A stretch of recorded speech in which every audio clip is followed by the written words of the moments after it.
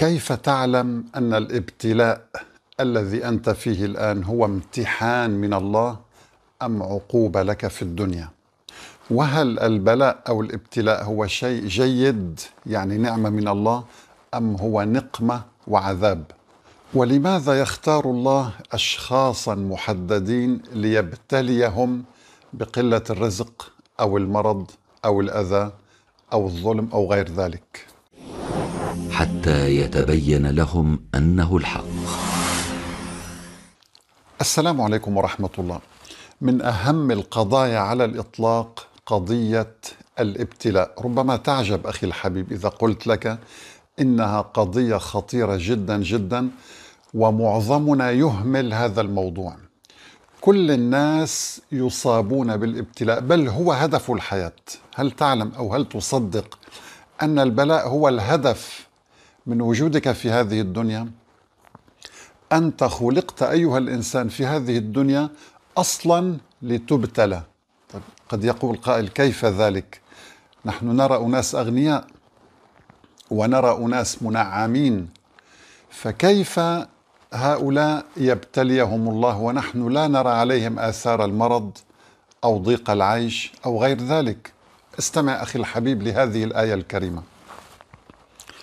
الله تبارك وتعالى يقول هو الذي خلق الذي خلق الموت والحياة الذي خلق الموت والحياة لماذا؟ ليبلوكم. اذا دقق معي. الذي خلق الموت والحياة ليبلوكم. وهنا ذكر لك الموت. هل تعلم لماذا؟ ربما هذه أيضا أيضا لم تخطر ببالك. ليذكرك دائما بضرورة أن تتذكر الموت قبل الحياة. نحن الآن في نظرتنا في تعاملنا في هذه الدنيا. آه، نادرا ما نتذكر الموت. كل نظرتنا للدنيا. ماذا سأفعل غدا؟ ماذا س آه، آه، يعني أخطط؟ ما هو الشيء الذي ساقوم به مثلا بعد شهر. كيف سأكسب الرزق؟ كيف سأدرس؟ كيف؟ كيف؟ كيف؟ كل هذه الأمور أخي الحبيب أنت تفكر فيها نظرتك باتجاه الدنيا. ولكن القرآن أرادك أن تنظر للموت اولا ثم للحياة. لذلك لم يقل هو الذي خلق الحياة والموت. قال الذي خلق الموت والحياة ليبلوكم أيكم أحسن عملا. سبحان الله. الذي خلق الموت أولا والحياة لتبقى دائما في حاله تيقظ وتنبه أن الموت أمامك.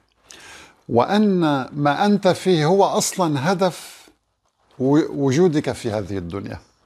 يعني السؤال المنطقي أنا عندما أصاب بمرض لا يجب أن أقول يا رب لماذا ابتليتني وعافيت فلانا؟ لماذا منعت عني الرزق وكثرت رزق فلان؟ لا ينبغي أن أقول ذلك لأن هذا الشخص الذي تراه أنت آه، غنيا مثلا هو مبتلى بأشياء أخرى ربما هو ابتلي بالمعاصي وهذه أصعب وأخطر بمليار مرة من بلاء المرض. بلاء المعصية أخطر بكثير. لماذا؟ لأن المرض بالنتيجة تصبر وتشفى. ولكن من يبتلى بالمعصية ولا يتوب ما مصيره؟ هذا مصيره إلى جهنم والعياذ بالله. لذلك أنت عندما ترى الملحدين ولا تعجبك أموالهم ولا أولادهم لا تنغر بالتكنولوجيا الحديثة والاختراعات والرفاهية. ادخل إلى أعماق هؤلاء. ترى الاكتئاب ترى الإلحاد ترى الظلم ترى في داخلهم يكرهون الله سبحانه وتعالى. يكرهون العدل والقيم. لذلك تجد أن هؤلاء يحاربون الإسلام دائما. يحاربون الفقير. يتسببون في حروب يموت فيها ملايين البشر ولا يبالون. فلذلك بلاء هؤلاء الذين تراهم أنت قد تراهم مثلا في وضع يعني مبهر بالنسبة لك بلاؤهم أصعب من بلائك. أنت البلاء الذي أصبت به تجد لسان حالك يقول الحمد لله. بينما هذا الذي أعطاه الله المال والسلطة وأعطاه من الدنيا ما لم يعطك أنت أغدق عليه الدنيا فتح عليه أبواب الدنيا نسي لقاء الله نسي الآخرة انغمس بالمعاصي فكان بلاؤه يقوده إلى جهنم وبلاؤك يقودك إلى الجنة. لاحظت الفرق؟ لذلك هنا أستطيع أن أتعرف على البلاء. هل هو عقوبة أم امتحان من الله؟ بكل بساطة أخبرني عن حالك لحظة البلاء. أخبرني الآن عن حالك. هل تقول يا رب لك الحمد؟ رقم واحد. هذه أهم علامة من علامات أن ما ما فيك هو امتحان وليس عقوبة. هل تقول رضيت بقضاء الله؟ اذا الحمد والرضا. أهم علامتين من علامات من العلامات التي تعرف فيهما أنك مبتلى ابتلاء امتحان وأن هذا الامتحان ستنجح فيه إن شاء الله وسيرفع درجتك عند الله. شيئين. الحمد والرضا. تجد نفسك دائما تقول الحمد لله والشيء الثاني ترضى بقضاء الله. هناك من يقول الحمد لله ولكن لا يرضى. فهنا يخشى على مثل هذا الإنسان. فيكثر البلاء. يعني أنا مثلا تأتيني رسائل يقول أنا أحمد الله كثيرا. وأقرأ القرآن وأصلي وأفعل كل ما أمرني به الله حسب يعني رأيه. طبعا هو مقصر في قضية مهمة جدا قضية الرضا. هو يذكر الله يقرأ الرقية الشرعية يستمع إلى القرآن يعمل خيرا إلى آخره ويقول الحمد لله.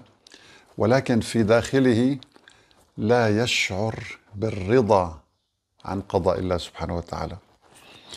الإحساس بالرضا أخي الحبيب هو أهم مؤشر أنك تمتحن بهدف أن يرفع الله درجتك. لذلك النبي عليه الصلاة والسلام قال أشد الناس بلاء الأنبياء.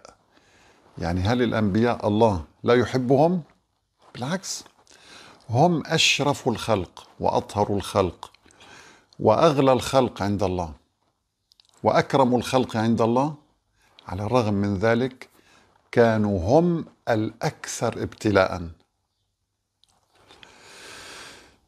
فرعون ألم يبتلى بكفره وإلحاده ومعصيته وقتله للأطفال؟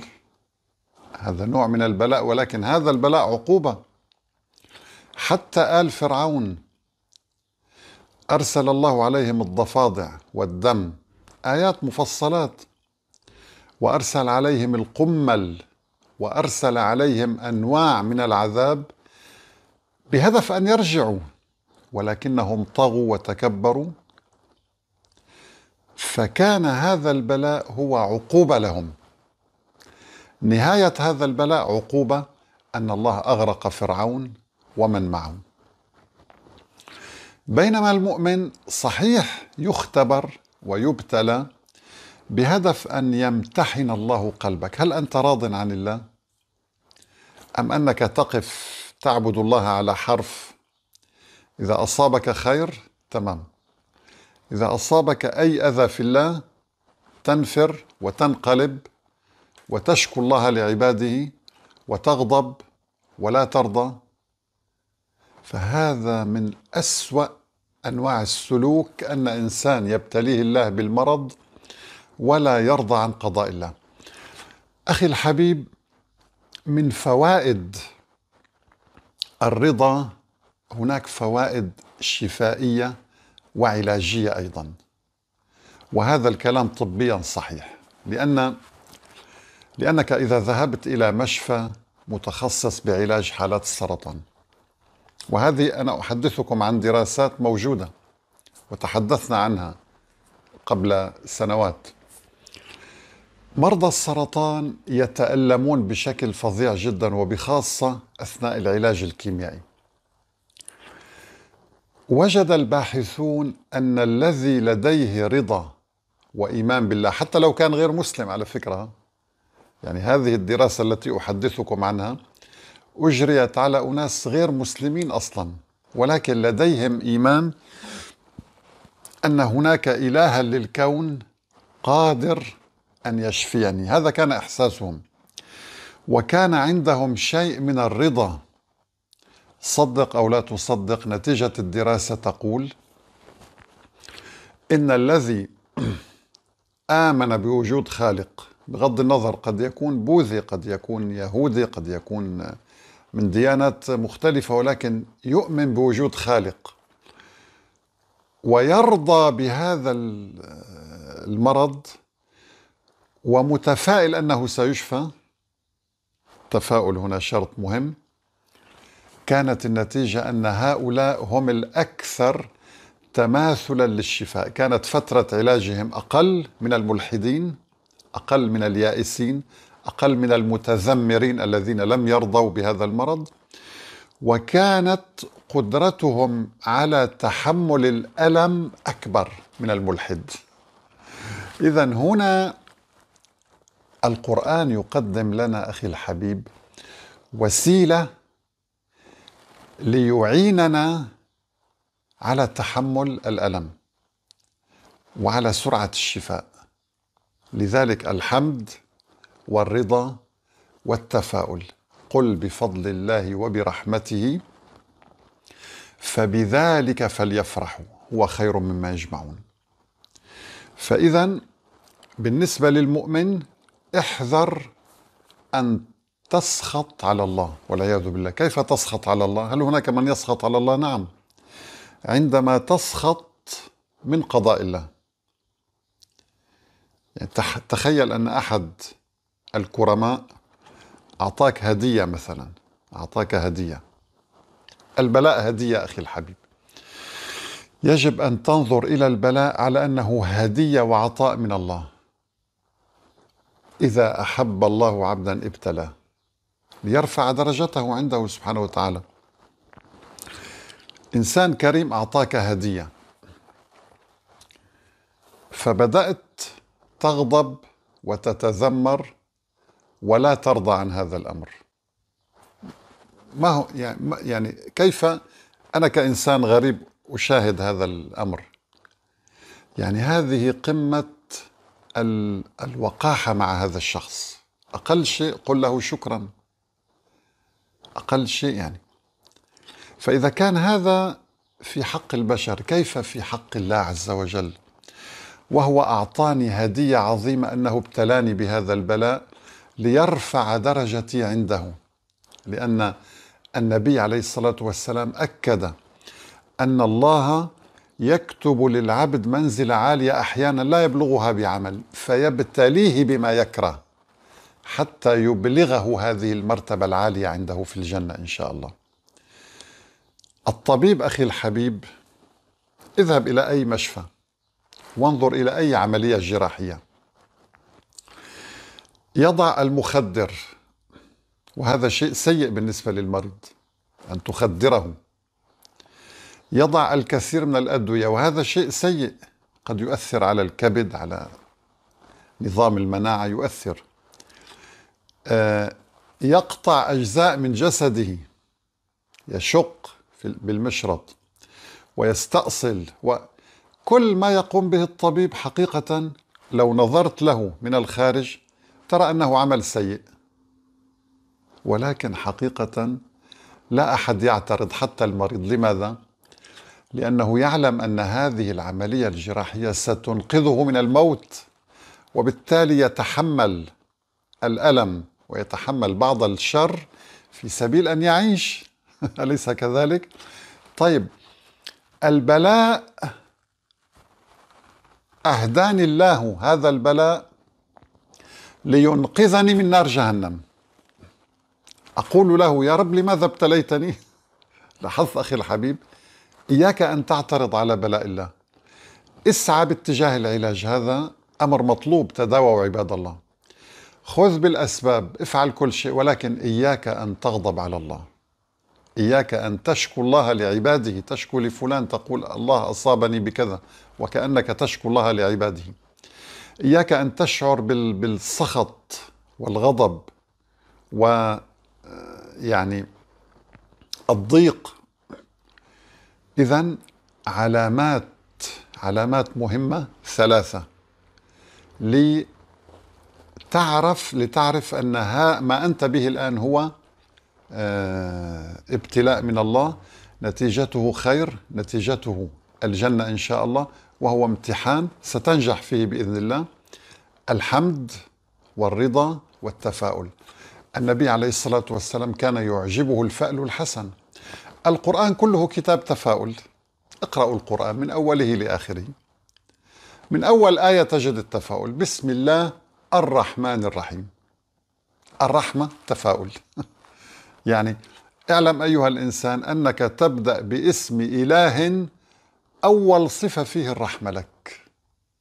فأنا عندما أعلم أن الله رحيم بي لن يتركني لن يتخلى عني سيشفيني سيرزقني سيحل مشاكلي سيعينني على السعادة. أليس هذا تفاؤل؟ الرحمة من أعظم أسباب التفاؤل أن تشعر بالرحمة. فالقرآن كله صدقوني من أول آية إلى آخر آية كله تفاؤل يدعوك للتفاؤل. وبالتالي أصبح لدينا خلاصة لهذا اللقاء أيها الأحبة أن البلاء شيء جيد. هو نعمة من الله هو هدية من الله هو عطاء من الله. ارضى بهذا البلاء واحمد الله وبنفس الوقت تتفاءل بالخير. تتفاءل أن الله سيكشف هذا البلاء ودائما لتكن هذه الآية في ذاكرتك في قلبك. احفظها رجاء لا تنساها. وإن يمسسك الله بضر فلا كاشف له إلا هو. وإن يردك بخير فلا راد لفضله. يصيب به من يشاء من عباده وهو الغفور الرحيم. انظر الرحمة. بدأت الآية بالضر وإن يمسسك الله بضر وختمت بالرحمة لتعلم أنك بين يدي إله رحيم.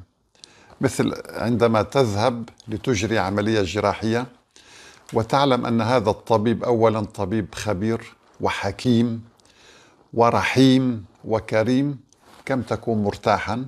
كذلك اعلم أنك أن لك الها رحيما بك حكيما ينزل بك البلاء ويعلم أنك ستصبر وأنه سيعينك على الصبر وأنه كتب لك منزله عالية أنت لا تراها ولكن الله يراها. منزله عالية في الجنة هي بانتظارك فلذلك لا تيأس أخي الحبيب.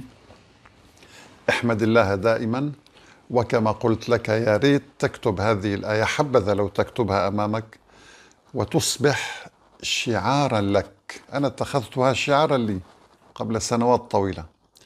أعانتني على تحمل أقصى الظروف. أعانتني على التخلص من التشاؤم. أعانتني على التخلص من أمراض القلب.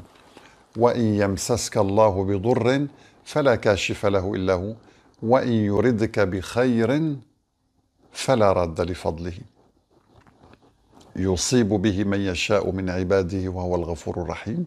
والحمد لله رب العالمين. والسلام عليكم ورحمة الله تعالى وبركاته. حتى يتبين لهم أنه الحق.